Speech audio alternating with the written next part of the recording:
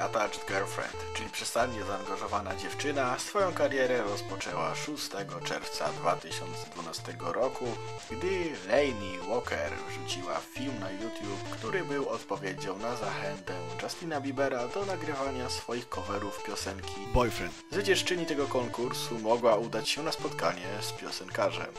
Kuszące, prawda? Cover zdobył popularność dzięki wyrazie twarzy Lainey oraz bardzo ciekawemu tekstowi. If I was your girlfriend, I'd drive you up the wall. Question who you're with, yeah, I'd always call and call. I wouldn't call it jealousy, just looking out for you. Reading all your texts, watching everything you do. Nag, nag, nag, on you.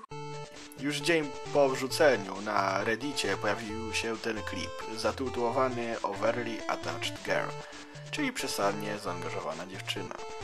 Pokrótce piosenkę można opisać jako opis bardzo zaangażowanej dziewczyny, która dla dobra związku jest gotowa na prześladowanie swojej drugiej połówki, nawet szpiegowanie jej. Większość memów, które powstały dzięki temu klipowi, ukazują początek filmu z niepowtarzalnym wyrazem 20-letniej panny Walker wraz z komentarzem, który naprawdę przerazić. Lainey jest bardzo zadowolona ze swojej popularności. Otworzyła własny fanpage na Facebooku oraz Twittera. Na swoim kanale YouTube cały czas kontynuuje swoją karierę. Sparodiowanie piosenki Call Me Maybe, oczywiście w tym samym nurcie co pierwszy klip, cieszy się nawet większą popularnością niż cover piosenki Biebera. I'm looking out for you, baby. Hey, I just saw you with that lady. Paid for her dinner. That's kinda shady.